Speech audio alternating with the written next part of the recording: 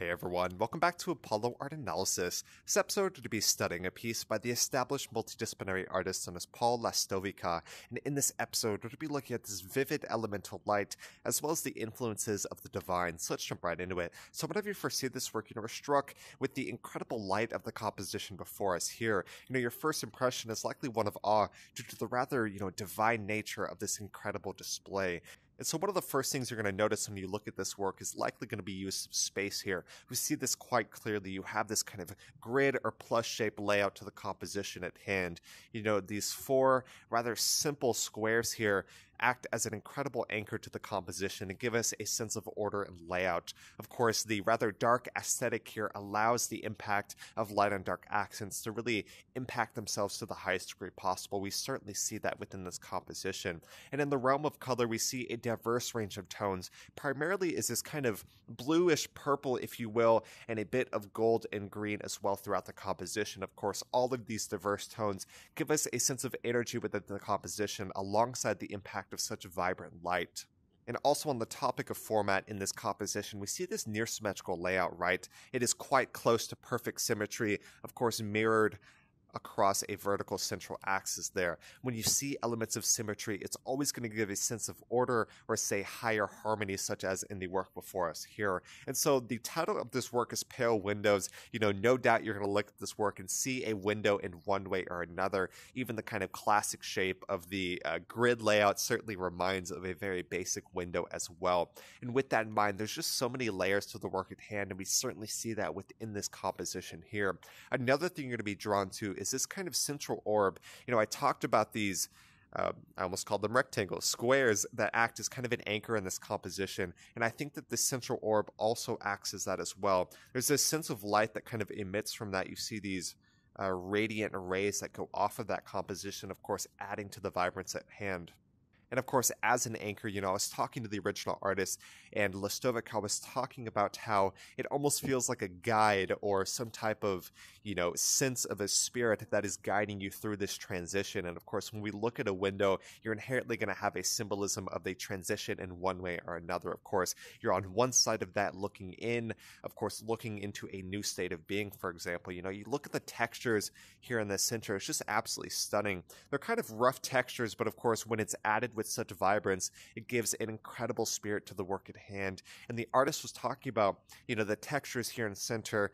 Of course, you see what is reminiscent of the stroke of water. We see that quite clearly. Not only does that kind of reflect that, but it gives a sense of the fluid. And the artist was talking about this kind of fluid state of being. And of course, inherent with that is going to be transformation, which kind of, you know, really goes full circle to the sense of a gateway or a window within this work at hand.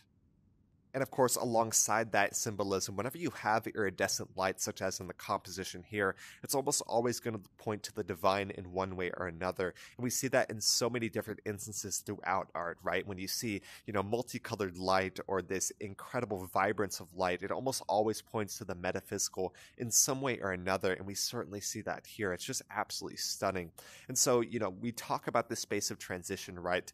It almost feels like if we're being guided through this gate into a new state of being. It's quite interesting there. And, you know, on this topic, I actually have two other pieces that are related to this work in one way or another. We're going to bring those in real quick, see what we can learn. All right, so I brought in two works here. We have one on the left and one on the right. And so the artist was talking about, you know, the precursor to this final piece here.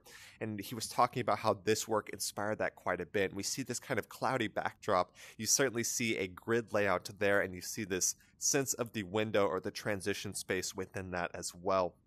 And then we compare that to the work on the right here. We see also reminiscent of a window as well. And you have that just that stunning contrast, of course. A absolutely love that color on that background. It just pops and it catches the eye instantly. In all three instances, you also have kind of like a trimmed border. You know, you see that, of course, in the work on the right is a, it is a lot thinner, but the impact is there nonetheless. And we see this, it feels a much thicker within this one in the center, of course, framing this center scene. Even these, you know, really help to frame that as well. And then on this composition, you have a much thicker frame and border as well, of course, giving a sense of layers to the work at hand, but also, you know, framing that sense of transition or that kind of gateway feeling that we feel inherent to the sense of that window. So it's absolutely stunning, and I love to have those to really compare to the original work that we see here. Or sorry, not the original work, but the the final composite that we see in the work before us here. So yeah, like I said, you know, whenever I look at this piece, of course, I see that sense of transition or moving through the gateway or a portal or a shrine of some way or another. When you combine that with such vivid and iridescent light, you're no doubt going to get those divine displays and those divine themes that we see within the work at hand. It's just absolutely stunning. You know, this work is kind of a mixed media work. It is the result of over, you know, three edits in OneLab, I believe, before an additional final edit in Adobe Photoshop. So we see the results of a composite, you know, compiled into the stunning work here. Whenever I first saw this work, I just, you know, I absolutely loved it. What always caught my eye was this central orb center and how that is kind of reflected by that sense of the water. Of course, the tones here, the vibrance, the colors, you know, so many different things you could point to. It's just absolutely stunning and it was a pleasure to study this work. I really hope y'all enjoyed today. You know, we talked about so many different things from iridescent light to the harmonious nature of symmetry to the impact of different diverse colors, all the way to, you know, the sense of the window or a gateway as a transition, of course, all combined together into that incredibly divine destination and divine display that we see here. So, like I said, really hope y'all enjoyed today y'all enjoyed this episode, go check out the original artist, Paul Lastovica, doing some amazing stuff in multiple different mediums. You know, he combines different things, and he also talks about the sense of exploration inherent within his work. You know, in those two works that I brought in earlier to compare, you know, he is in a sense of exploration. He starts with one idea, and of course, as you work through those edits, it just turns into an entirely new beast, right? You see that sense of the evolution inherent within that. So there's no doubt it's really stunning, and we always love to see that. So, like like I said, you know, if you enjoyed today's episode, go check out the original artist Paul Lastovica doing some amazing stuff in multiple different mediums and a incredibly unique artist and style at that. So yeah, I really hope y'all enjoyed today. If y'all enjoyed, go check out the original artist. My name is Apollo. This was Apollo Art Analysis, and I'll see y'all on the next episode.